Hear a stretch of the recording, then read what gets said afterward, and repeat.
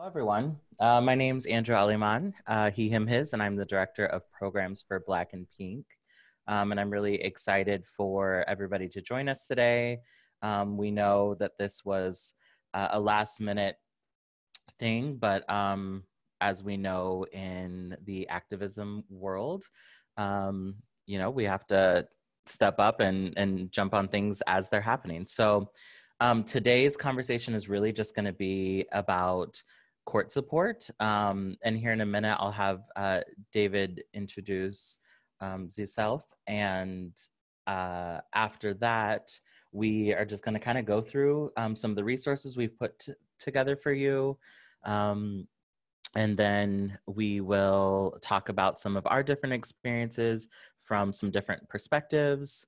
And uh, hopefully, we will have some time for questions and answers. Um, Nikki will be monitoring those throughout. Um, so if you do have them, I think it's typically easier to put it in the question and answer section so that we can tag it. Um, so we would ask that you do that.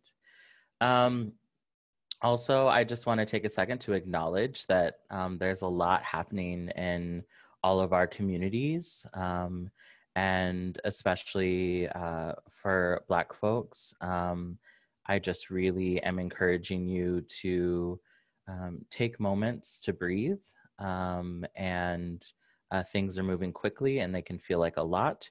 And so, as we provide support for others, um, sometimes we forget to take that moment for ourselves. So, just really encouraging folks to think about that um, as well as we go through this conversation today.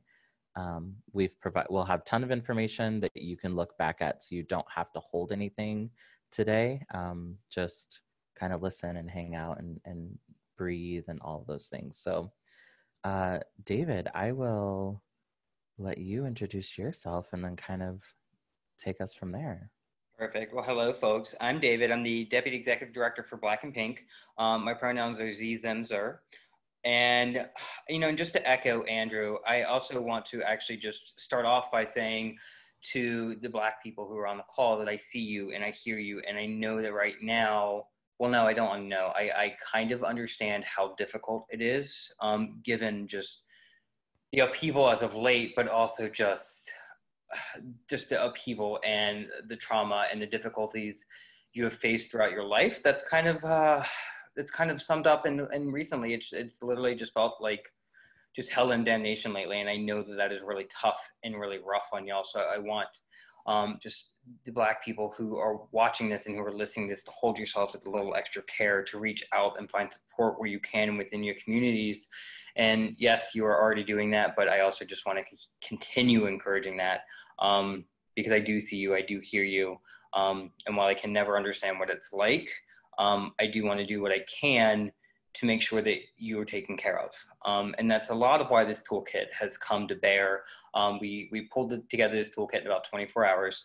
Um, and a lot of it was because we kept seeing messages about how do I support? What do I do? How do I, you know, how do I do all this?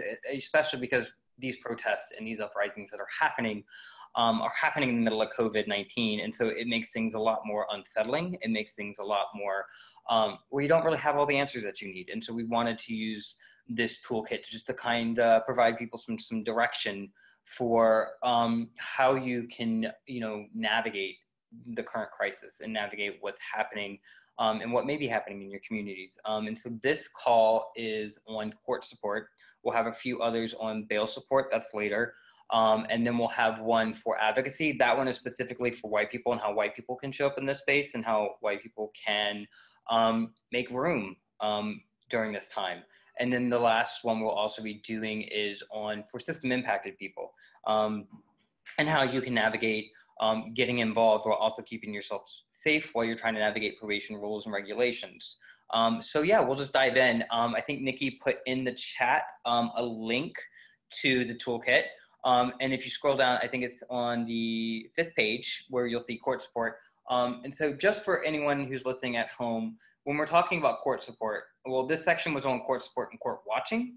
And those are kind of advocacy tools um, in our toolkit that, that allow us to care for the people who are getting wrapped up in the system. And we'll see this a lot more lately as people who are protesting are getting um, rounded up and arrested.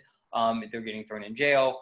Um, and at some point, they may possibly have to navigate going to court and going through trials or going where, you know, just being involved in the system. And so we wanted to make sure that people understood that um, court support and court watching are, you know, incredibly important tools that you can use um, to provide the support that people need who are navigating those systems. Um, it can be, it, it ranges in um, activities from providing individual case support, um, attempting to assure more uh, transparent legal system, um, reporting on you know the actors in the court system, whether that's judges, that's prosecutors, um, public defenders, um, and gathering information and just attempting to guarantee some policy implementation that's inclusive, that's affirming, um, and court support just allows us to provide support to those who are navigating it, and then just allowing you know them to know that you care and that you're showing up for them, and you're also showing the system that hey this person is just not another you know spoke in the wheel. This person is somebody who has a full life who has people who care for them people who love them who are supporting them who are mobilizing. Um, and so court support is very important. And you'll see in here like our boston chapter. So i want to shout out our boston chapter because our boston chapter has done a lot of work um, around court support and a lot of these resources come directly from them. Um, so they are um, specifically massachusetts based. However, that does not mean that they cannot be applied and they cannot be adapted to where you're looking at. And one thing I also want to mention is be, because these protests right now are happening in the middle of COVID 19, what court support looks like is going to be very different depending on whether or not you have curfews, depending on whether or not you have stay at home orders um, in effect. So a lot of this is going to depend on very much on your local community, dependent on very much on your local state. Um, and so what can and cannot be done right now is just you're going to have to do a little bit of digging to figure out like if courts are even open um, and and whether or not they'll even allow people to come in. So a lot of it is just at the end of the day, it's it's holding not only yourself accountable, but holding the system accountable for um, wrapping people in the system, especially during crisis. So, and you'll see in there, like we provided in there, um, some general court support tips. Um, that first link is um, just tips on how do you show up during the day? What time do you show up? Having patience um, during the day, um, because this is going to be it's going to be a very long process. You may be there for five minutes. You may there you may be there for an hour. You might be there all day because it, it's really going to depend on the docket. Um, and the docket is the list of people who will be going through that courtroom that day. Um, and you'll see in there that it's it'll be helpful to wear an identifying marker so that person who you're showing up for knows you if you are not a well acquainted if you're not well acquainted with that person. So for instance, for like this court support stuff here, this is based on our chapters who are showing up for our members. Um, and so that chapter member may not know that person in a personal relationship. So this just lets that person know that, hey, I'm with Black and Pink um, and I'm here to support you. So that it's very clear. Um, also, a lot of courts are going to have rules and restrictions on what you can and cannot wear and what you can and cannot wear uh, bring into the courts. Make sure that's brought up. Andrew will talk um, a little bit more about you know the experiences with court support in a little bit, so I don't want to step too much on Andrew's toes. Um, and it's just and also just be aware that it will probably be a very boring day. You'll hear a lot of legal jar- jargon. You'll hear a lot of things that probably will not make sense to you, and that's okay. Um, what matters is that you're there to support somebody. What matters is, is that that person feels like they're not alone in the process. You know, and Andrew and I touched a little bit more on, on personal experiences. Myself, um, I'll touch more on you know, being somebody who's formerly incarcerated and what the, navigating that space looked like for me with not having very many supports as I navigated that. Um, there's also a training document in here. Um, and this is um, from our, again, from our Boston Black and Pink chapter. And it just provides kind of a, a general understanding of how they walk people through the process of court support. Um, and it also talks um, just in general, like gives some just general tips and tricks for walking through the system, navigating the court, um, key players in the courtroom so you can understand who is and is not in the room. Um, there's some keywords and concepts in there. So like arraignment, which is the court date when you find out what the charges are, which is going to be completely different from a pretrial hearing, which is court um, dates that are after the arraignment before the trial date. Um, plea deals, and there's and there's even even within plea deals, there's a number of different plea deals, whether they're Alford pleas or whether they're guilty pleas. Um, Alford pleas uh, essentially say that yes, there's enough evidence to convict me and find me guilty, but I am also not saying that I am guilty. Um, so there's that piece. Um, And then also the third piece on court support is also working with people who are court involved. Um, and so when we're talking about people who are court involved, these are people, uh, these are just tips and tricks for the person who you're there to support and the person who you're there to affirm. Um, just talking a lot about just best approaches like making sure you're non-judgmental, um, checking your own privilege and checking your own goals at the door. Um, because this process is not about you. This process is about the person who's going through a very difficult time, a very scary time, and may not um, know exactly what they need or how they might want to navigate this. So, um, and and also it's preparing you to know this may be a very slow process. It may be a very lengthy process that happens over a series of months um, and what that ongoing support looks like outside of the court too. Because if, if they're going from an arraignment to a pretrial hearing to a trial, that's going to be over a series of months, and it's not going to be on consecutive days. So in that gray space and in that in between, how do you show up for that person? Um, whether that's you know being a lifeline for them. So this is also making sure that you understand like how much you can give of yourself because this is a very um, very draining experience for all people all around. So it's making sure that you can also hold yourself um, with care and hold and holding that and holding what you can and cannot offer to that person and making sure those boundaries are very clear um, from the get-go um, it talks a lot about just the process in general um, so that is just on uh, court support. So court watching is a separate process and court watching is when people go in and they pretty much audit the courtroom. They so they see you know what kind of biases are showing up in the court?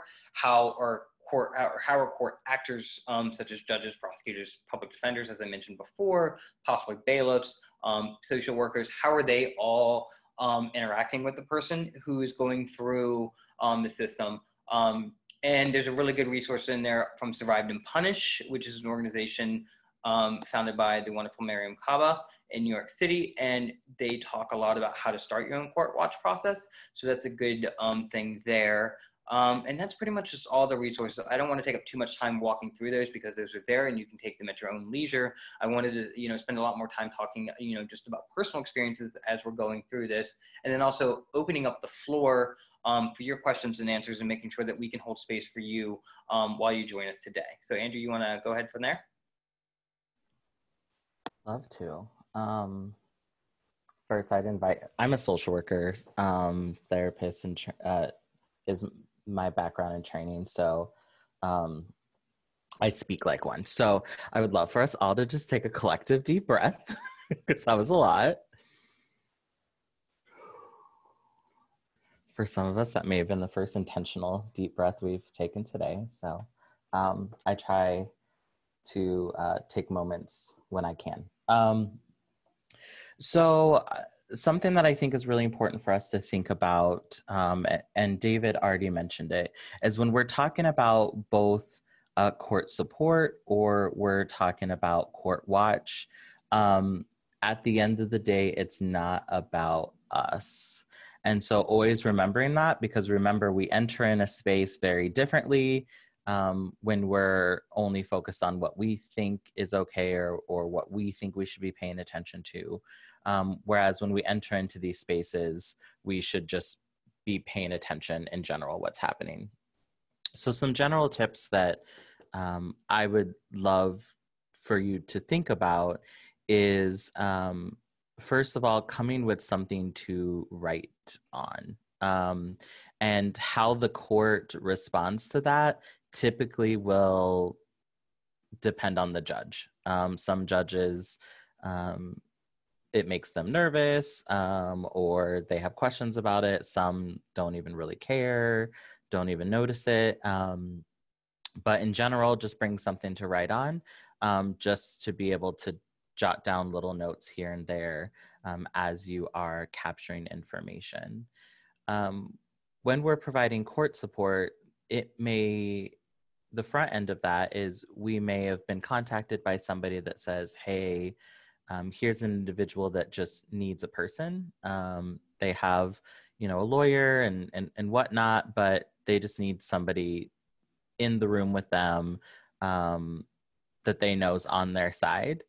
And so sometimes it's just that, um, but I still like to just take some notes um, and specifically of like dates that are mentioned. Um, also, uh, usually in courtrooms, things move really fast. Um, if you've never been in one before, they will, um, you know, throw out docket numbers and and this and that, and and they use a lot of language that you may not know. And so usually I'll jot down a word. I'm like, I don't even know what that is, and I will go back to it later. Um, another thing that I really encourage folks to think about is using your resources. So, a lot of my experience with court support um, or even court watch, um, I usually say observations, so that's why I'm having to think of my words, but um, of court watch is within the youth system. And um, my background, I have a lot of work that I've done um, within the child welfare system or just in, in general of, youth serving organizations i should say. Um, i've never really worked in the system but um, i know that i have those connections. And so i can ask questions of um, can you tell me what um, you know this judge typically how this judge usually reacts to people observing court? Or you know can you tell me um, what's the name of that judge's bailiff? Um, because usually the bailiffs are um, at least eh, I will speak to specifically in Omaha um, in Douglas County when uh, you go to the youth court the bailiff is who will come get you um, and bring you to the courtroom. And so you kind of um, end up making friends with the bailiff um, so that if the bailiff is happy usually the judge is happy. Um, and so you just learn these little things here and there. Um, also remember in most situations uh, observing court um, is it's allowed. They'll act like it's a huge inconvenience um, but you actually have the right to be in there. Anybody really could just come and, and sit in it unless it's closed um, for a very specific reason which is pretty rare um, however there's a lot of different rules around right now with COVID. So it may be in your best interest to reach out to contacts that you have or um, even try to get in, in, contact with the court that you may end up doing observations or court support in and just asking them what that process would look like if you are providing some court support for somebody because um, it may look different in whatever district or whatever state or city that you are in currently. So that's something that i think about. The last tip that I um, think is really important that I do myself is after I get back, after I get done, um, and I get somewhere that I can just be alone, I will um, like record myself just talking about these were my feelings in the courtroom. These are things that I kind of noticed. Here's some of the notes that I had. Um, because I have found and this is my therapist training that I will take notes shorthand. And then later I may look back and be like, oh shoot, what was that? And then also I like to capture like what was the feeling in the courtroom? What was the power dynamic like? Because um, I think that's that's really good information as you start to learn how different judges move and how different judges navigate their courtrooms, because that can help with future court support, help with future court observations or, or watch. Um, so those are like that's the long game type stuff but um, that's that's something that i have utilized in in the past for myself um, it can be really overwhelming to sit in a courtroom and watch um, i'm going to say people be pretty dismissive um, or unattentive to somebody's life or um, it feels like maybe they're not taking something seriously which um, is scary because you're like you're the judge or you know you're people even the defense attorneys you're people that should have this person's side and it can feel overwhelming. Um, so just know that going in and and think about what is your self-care plan who can you touch base with afterward um, and then think about how can you have that conversation with the person that you're there to help support. Um, and usually you may have to work with um, even maybe the defense attorney or somebody to even get connected to the individual or the family member whoever you're working with however you got attached to this situation to be able to provide that support um, is, is some things that you may think about in that reference. Um, yeah, do you want, uh, David, do you want to flip to some of your experiences and then I can flip back to um, some things that I have seen? Sure thing, yeah. As well. Yeah. And um, I do want to put out a caveat for people. I have not talked about my experience navigating the court system, so I may be processing this um, a little bit as I'm talking through this. But I think that this is important, so I'm I am more than happy to put that lived experience out there. I just and I'm probably asking for a little bit of space. So if I catch my breath or something um, for a moment, um, just bear with me because this like my incarceration experiences was very um, was very traumatizing for me, as it is for a lot of people. Um, and I think that when you're dealing with the court system, the first thing that you can say is, uh, well, the first thing I would ask people is to, you know, make uh, understand what you're what you're getting into and understand, you know, kind of what your boundaries are. Like, you don't need to know your boundaries first off, but make sure that you can commit to the boundaries that you do. And if you can't commit, be willing to engage in a conversation with that person that you are supporting and say, hey, um, I've hit the limit that I can, you know, and try and maybe try and work with them to see if there's somebody else who can support them because taking that support away after they've been supported can be really hard on somebody. Um, and also, I think the other key piece is also to you you may not always know, especially if this person is somebody who you are not friends with or somebody you are not acquainted with or you know that you're not involved with in the community. This may be somebody who is just you know quote unquote a stranger to you um, and so you may not always know what's happening in their lives at that point. Um, and to give you an idea, so when I was going through when I was going through the system myself, I was navigating coming out. I was navigating going to college. I was navigating trying to reconcile with my parents. There's a lot of there's a lot of stresses that were going on around me on, on the outside world. Um, and things that I couldn't convey to people. And you know, during my entire like until I actually got to the trial piece of um, my system experience, there wasn't anybody to really provide any support or really any guidance. And i think that was very that was very harmful for a number of reasons. Um, but then when we got to the trial um, experience um, right before i was you know incarcerated both my parents passed away.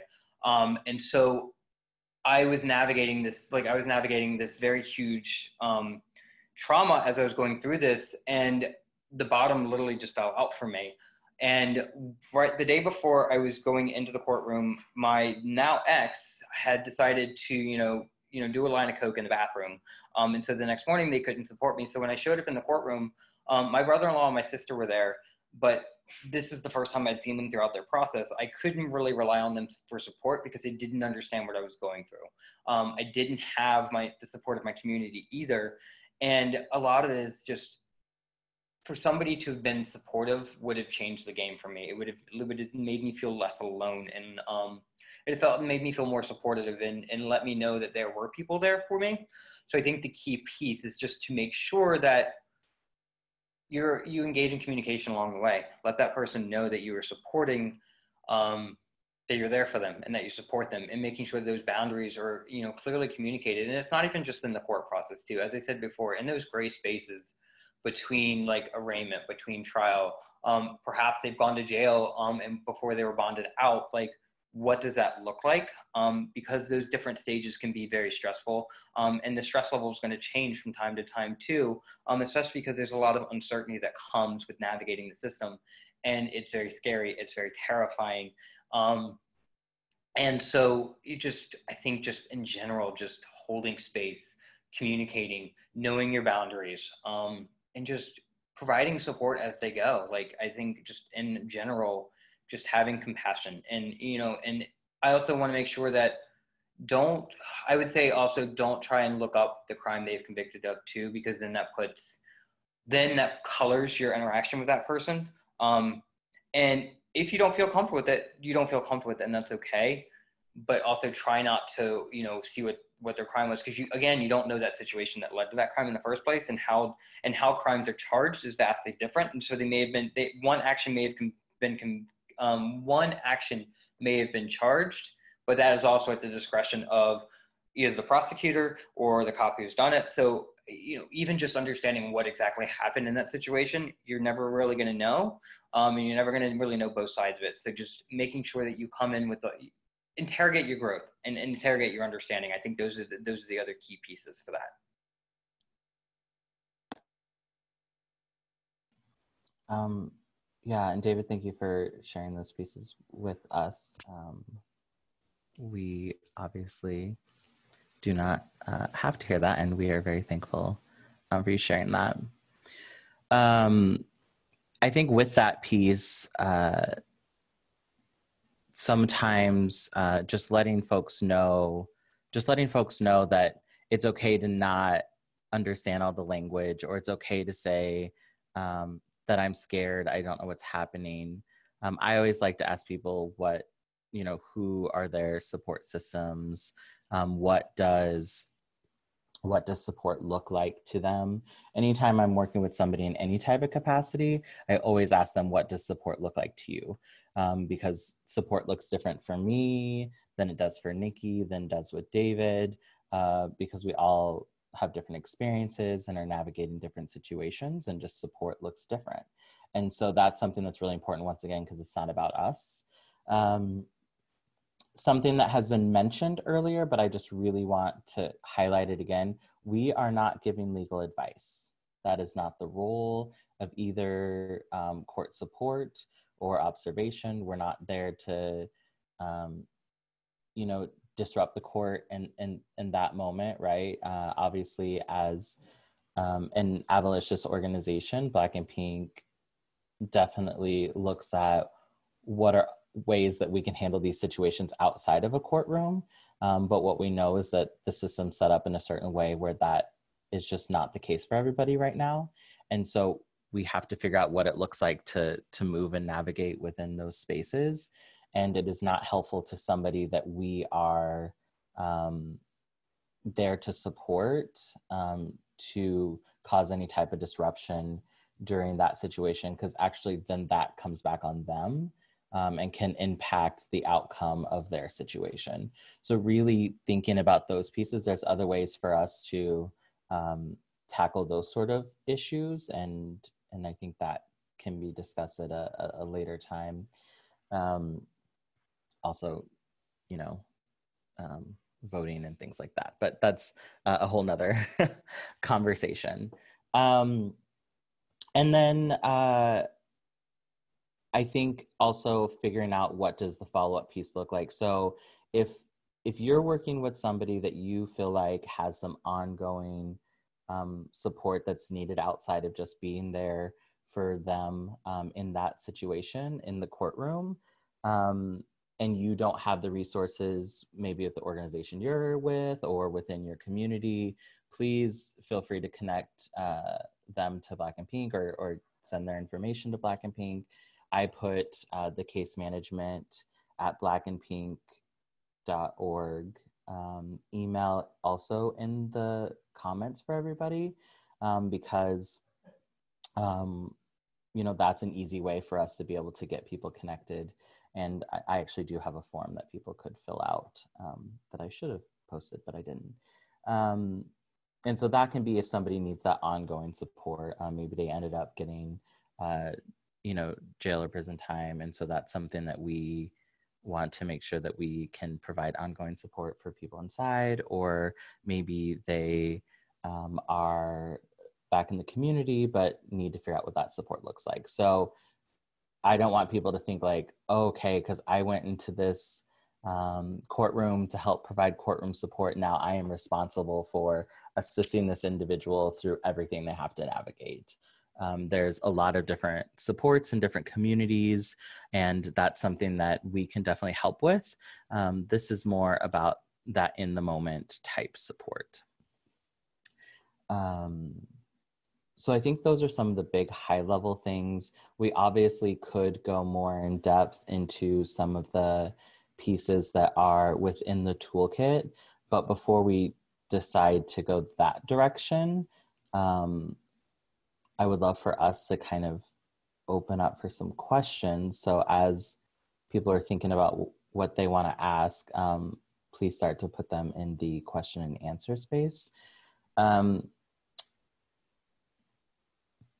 something that I have seen in courtrooms, um, once again, I want you to think about the power dynamic, um, especially when we think about court involving youth, is that oftentimes the youth's voice is not heard or there's not an opportunity provided for them to be able to say anything other than like, yes, your honor, no, your honor. Um, and so sometimes it may be just asking them that piece and then sharing that with their defense attorney or whoever is is part of their team of just saying hey this is something that they asked me to share with you so um, those are some other ways that i have had to provide some support or, or help speak up for somebody who is um, a, a, youth um, within that within the system. Um, and then earlier we it was brought up um, that there are all sorts of different people that may be involved with youth, whether that's like CASA workers or, um, you know, if they're on probation, there there may be folks from probation, and there may be people, um, obviously, their attorneys, their um, if they're a, state ward, um, if they're involved in child welfare system, then there's all sorts of other folks. Um, so there may be a lot of different people that have probably never met that young person before and sometimes they may have just met them literally in the courtroom at that moment um, and so even writing down names and where people are from as they're starting to um, as they're starting to to share that in the courtroom can be helpful information to be able to share uh, with the young person in the future as well um so I would love for us to go to some questions, unless you have something, David, that you would like. No, um, I think I, I just appreciate y'all for walking in here with us and like you know creating space for us to share this and to share information and knowledge with y'all. Um, I appreciate it. Um, we do have a couple questions already um, in the Q and A, so I appreciate y'all. So Rachel, thank you for your good question on like, are there any neighborhood specific groups or resources for court support? Um, one, I would check to see if there's a black and pink chapter in your area, first and foremost, because a lot of our chapters do um, provide court support. Um, the other recommendation I would have is to check with your local, like either prison abolition or criminal justice grassroots organizations in an area. Um, and if they don't provide it or don't have resources, they should know somebody that they can go to. Um, Andrew, do you have anything to add to that?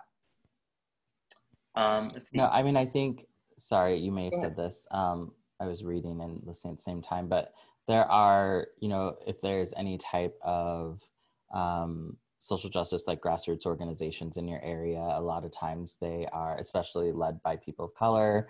Um, a lot of times this is something that they have had to navigate or at least have connections to folks that are doing this work in the community. And so that may also be a way of offering that help and support if there's not um, a black and pink chapter in, in your area. Okay, perfect. Um, let's see. So Cameron asked, do you know whether COVID restrictions are different on a county by county, judge by judge, or a case by case basis? Andrew, do you want to tackle this? You want me to um, provide some guidance? I can start and then you can kind of jump in. So it really right now is depending on um, like state, city, county. Um, you know, different courtrooms are doing different things. So some some states have moved to more virtual type options. Um, some states aren't doing that at all. Some states are delaying um, hearings uh, as much as they can to try to keep it out of the courtroom. Um, some are only allowing certain folks to be in there, and so it really depends on what are uh, what are the provisions that have been allowed um, by that county, state, uh, county, city, and state. Um, and so I, I would encourage a if you have a connection to somebody that navigates or works in the courtrooms more often, whether that's like a caseworker or or somebody that works within the court um, the courthouse, maybe asking them how that looks. Um, you know, you can call up sometimes and just ask straight up. You know, I'm I'm providing uh, some support for I'm providing some courtroom support and I was wondering what the check in process looks like. Um, but I typically will do both because that's just um, I like all the information. So I will usually call up, get that information, and then I'll ask some people that I know and be like, "This is what I was told. Is that what's really happening. So it, it's kind of a case by case. I haven't heard it as much um, judge by judge as far as like COVID specific stuff. Um, but I will say the courtroom experience in general will absolutely be different um, from courtroom to courtroom based on the judge. That's just in general. Um, the judge kind of sets the tone for the room and the energy for the room, um, and and it will look completely different. You could have the same situation in front of two different judges, and um, just the feel of it is typically different.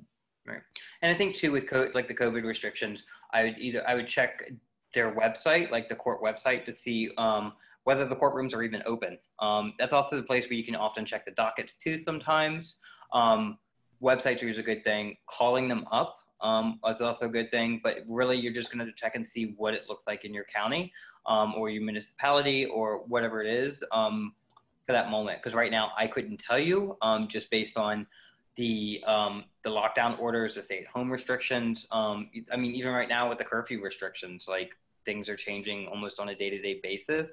So I couldn't I couldn't advise you, you know, specifically, but I can just say, you know, more generally, more broadly, just check out the county website. Check out the county website. Check out the city website, um, and see what's happening there. Great. Um, How do I get involved with Oh, how do I get involved with court support or court watch locally? I don't know where to start with reaching people who could use the help. Um, so, kind of two different pieces there. The first piece is I would say if you have a local Black and Pink chapter, um, that would be a good start. If not, um, I would say David, correct me if I'm wrong, but you could you could reach out to the Black and Pink um, national um, to one of us, and we can either uh, get you connected to somebody that we know is doing court support in that area, or um, if there really isn't um, that we're aware of, we can help navigate what it looks like to to build that infrastructure and um, begin that type of support. Because we do want to make sure. What I don't want to have happen is that there's just a bunch of people that just like show up for court and don't feel like they um, are prepared or um, don't feel like they have any type of support as they're navigating that as well. Right. Um, the second part, oh, sorry, go ahead. No, go ahead. You're good. The second part of that question, oh, um, the where to start with reaching people who could use the help. Um, you know, that's the hard part. Uh, I think first it is um, getting that out to your networks and just letting them know that um, like for example we've been when letting people know nationally um, that we can you know black and pink can help with court support and we have different folks in different areas throughout the united states that could assist with court support so it's letting your networks know um, you know, we specifically are working with LGBTQ plus individuals as an organization. So making sure we're reaching out to some of the on the ground LGBTQ organizations that are working with folks who um, are system impacted or um, are, are, navigating um, um some of those uh, barriers.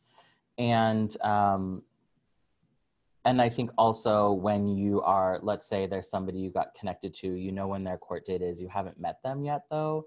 Um, it kind of depends on your specific uh, courthouse and what their process looks like.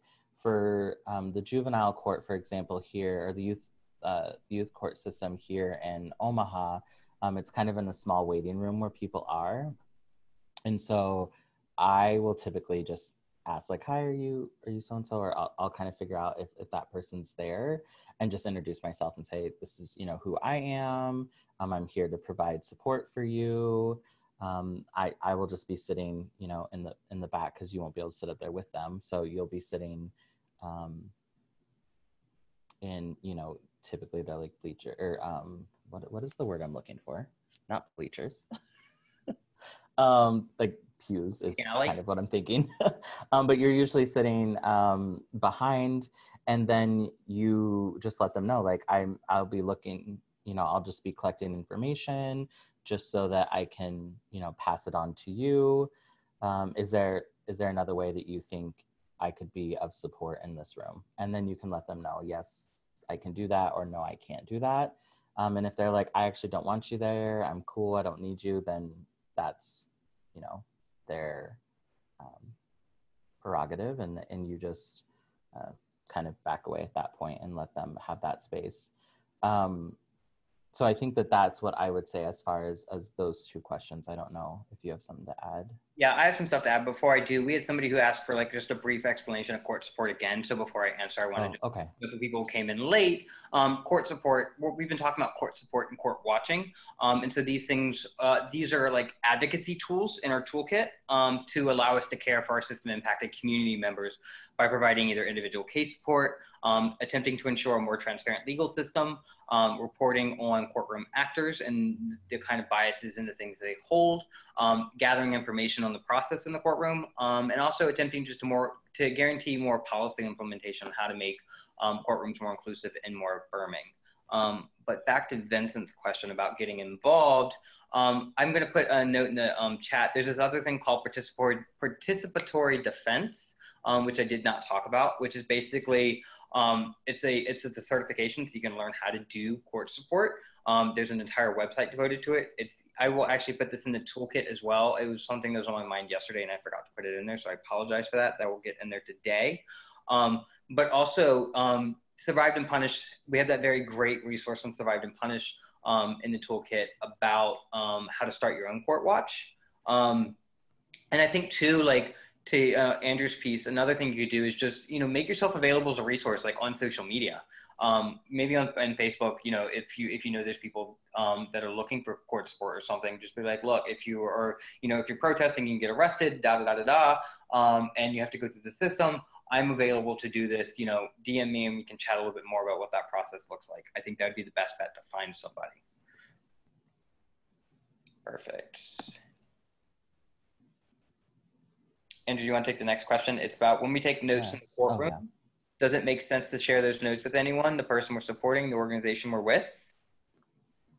Yeah, so I mean, I think you are um, there as a support to that person. So I, I think that it is uh, good to um, get those notes to them. Um, how that looks will depend on that person's situation, whether that's directly to them, through a family member, um, through their legal team, um, you'll kind of know their situation a little better as you navigate with them. But I always think that that's helpful. Um, I think that as you're working with an organization, doing uh, providing that support, um, it is also helpful to keep those somewhere so that, um, let's say, this person has ongoing um, hearings or, or needs ongoing court support, and there's somebody else that goes instead of, of you um, that they can be able to review this is what has happened in the past or this is the type of support that we've provided in the past um, just so that they can be familiar with the situation. Uh, so I, I, think that in general yes. Okay. um, and then i don't have anything to add. I think that's a great um, i think that's a great um, response to that. And then kind of the last question from leah is can you do court support digitally? Um, other tasks for immunocompromised unemployed queer white folks right now Absolutely, and I think this is a great question to ask um, because court support doesn't necessarily mean you have to be in the courtroom to show up for somebody. Um, and if it, and especially for right now during COVID, where things are very uncertain, um, and there's a lot of concerns around people who are immunocompromised. I hear you for that. Um, I am not somebody who's immunocompromised, so I don't have, I don't share those same concerns. Um, but I think this is a great question. Um, and I think right now, like supporting somebody digitally could look like having a Zoom meeting or having a phone call with somebody and let them know, hey, I'm here to provide support for you. What you need. And the other thing too is that person may not know what they need. Maybe all they really need is just for you to show up for them and just have somebody to talk to, um, and to just help them calm their fears. Um, even if that means just taking their mind off of it for you know an hour. Um, so yeah, there's ways to do things digitally. It's just being inventive about it in ways I've supported people outside the courtroom as well is um, sometimes people because of the power structures that just exist within the courtroom and just exist within the system um, and exist between you and your attorney and um, it just it's if you've never been in a courtroom before, especially if you've never, you know, I think if you've been in the courtroom for your own situation, that feels one way. And if you've been in the courtroom to observe, um, it's really interesting to just like see all of the power dynamics and how they play out. Um, and so sometimes people feel fearful to speak up or they don't want to say something because they think that they'll sound stupid. Um, and so I've had folks who have said, like, I really feel like my, you know, attorney's not hearing me and I don't know how to say this to them. Um, and it's not legal advice, it's just here's maybe some ways you could share that information. Or have you thought about writing it to them so that you can kind of pick your words? Um, you know, things like that. So I've, I've helped people just kind of navigate how do I um, advocate for myself and how do I share where where I am um, and how I'm feeling about this process. And we do have some questions in the chat as well, so I'll go over some of those.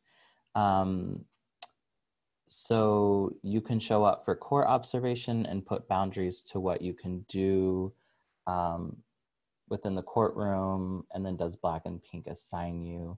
Um, so I'm going to answer those backwards it kind of depends on the chapter and how they navigate navigate those pieces. Um, so I would say connect there. Amy, you can probably uh, connect with with me, and um, we can talk more about what that piece would look like to get you involved in that if you're interested. In general, for court watch um, slash observations, um, honestly, you like that's something that we can just do as um, people in the community, um, and so I've shown up for, um, and once again, my experience is mostly with with youth uh, specific courts. So um, you can just show up and um, say, you know, I'm you know I'm I'm here to observe, and usually they'll ask you questions. They'll be like, okay, who are you here with? Um, and usually I just say like I'm just a social worker in the community that's interested in, you know, learning more about how um, the court system works is usually what I say. Um, but you can just, we, are allowed to be there. Um, they may not get you and bring you back to the room. Um, is something I've experienced a lot. So you kind of have to pay attention to what's happening. Um, and usually I ask that up front, will somebody come get me? Or how should I know that I can go into the courtroom? Um, but it kind of depends on, once again, your specific uh, courthouse or your specific uh, even judge and how that process is navigated. But usually there's somewhere to be able to like check in or there's usually somewhere to be able to touch base with somebody. Um, so you have that. Let's see here. Sorry, I'm going through these chats here. Uh, Facebook question. Uh, quick. Oh, you already did that. Okay. I think. There's one from Megan down there. Do you see that? Oh, if we're in Omaha, how do we sign up for court support? I would say um, for now, reach out to um, one of the two emails that I posted, whether it be myself personally or uh, you can um, email the case management at black and pink org. Either of those two are fine, and we will get you connected. Perfect. Are there any other questions? I don't see any. Nikki, are there any on Facebook for us, love?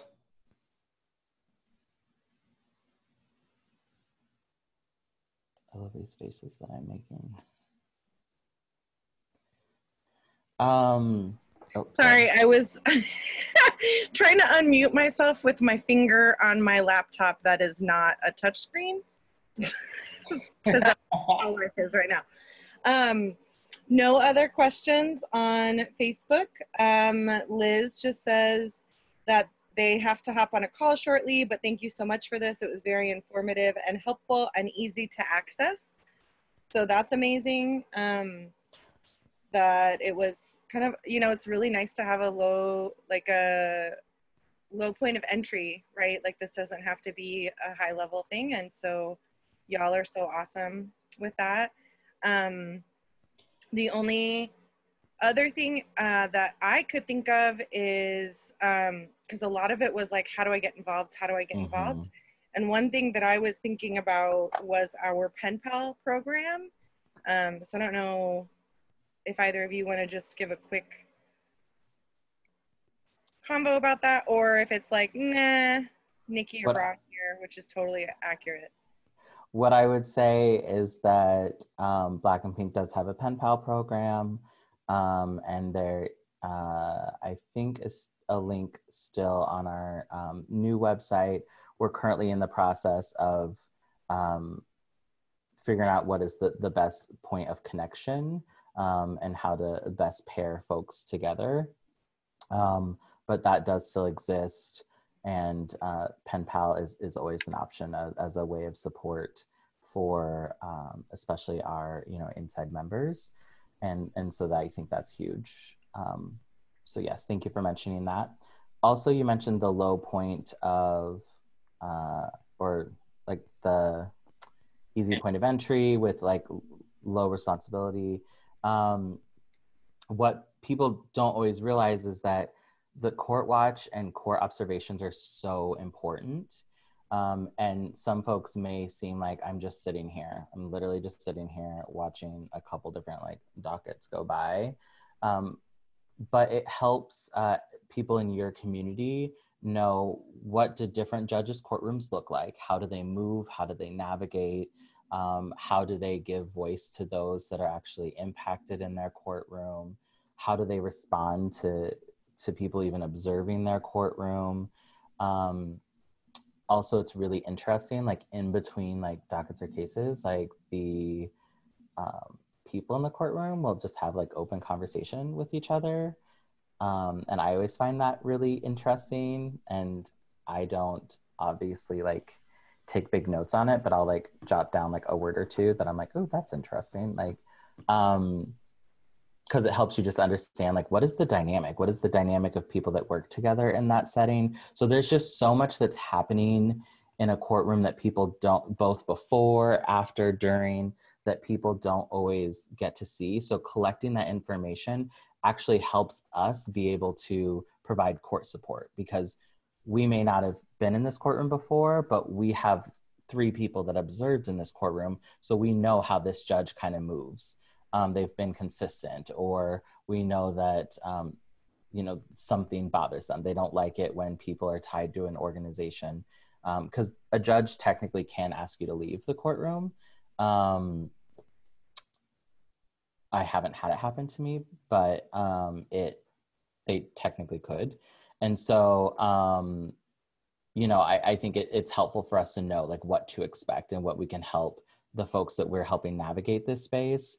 Um, you know they really like to hear from you. They really like to hear you say um, you know yes your honor or they really this this judge you know doesn't always allow um, young folks to speak so much. So you may want to make sure that you really you know tell your attorney like how you feel about stuff like really be upfront with them because um, you you may or may not get an opportunity and so those sort of things help us get that information, just understand what these different courtrooms feel like and look like and uh, how we can navigate them. Right. And so before we take our leave, um, I do want to just, you know, refresh, like one of the more common themes that's going to show up in this toolkit is, yes, you can advocate and yes, you can, you can stand in solidarity for us, but also in the same breath, you have to decenter yourself and decenter your privilege um, well, yeah, and decenter yourself in this conversation and make sure you make space for the person who's most impacted um, to have a say in what happens and to have a say in how this process goes. Um, because the person who's most impacted is going to know how they want this process to go and just trust that trust their needs, trust their experience, trust that they know what's best for them. Um, so yes, um, but yeah, and I think that's just the end of this. I do want to say thank you so much um, for showing up in solidarity today um, for this first one. I appreciate you. And Andrew has one last thing. I realize that I keep saying uh, the emails are in the chat, but the people on Facebook don't get the privilege of that. Um, so uh, I said that my email was andrew at blackandpink.org. And for just general um, support services, I prefer that people email case management at blackandpink.org, um, but either are fine. Um, and I don't know if anybody else wants to share there. Yeah, and mine is david at blackandpink.org. Um, I pretty much handle a lot of different things at Black and Pink. So in general, if you have a question about the organization or anything, um, that's I, I, pretty much am like the catch-all. So just send um, your questions to me if you have them. And just a warning, I get a lot of emails, so I may be like a day or two behind, um, but I will respond. A week at most is the law as long as you'll have to wait for me. Um, but yeah, I appreciate y'all again for showing up today. Thank you. Um, I as that is thank you both both both so so so much um, for sharing your experience and your expertise um, I'm, I feel so fortunate and grateful and humbled every day that I get to work with y'all and uh, the rest of our staff and how awesome everybody is. Um, I just, the one of the questions that I've been getting a lot is, is this being recorded? Will there be a playback? All of that stuff. So yes, yes, yes. Um, so I can't say I didn't say that. No, you can't. I mean, well, you can. Just let me know so I can edit it out before I post it on YouTube tomorrow. um, please share. We want as much of this information out into the public as possible. So, yes, please share. That's it. Thank you, y'all. Thank you.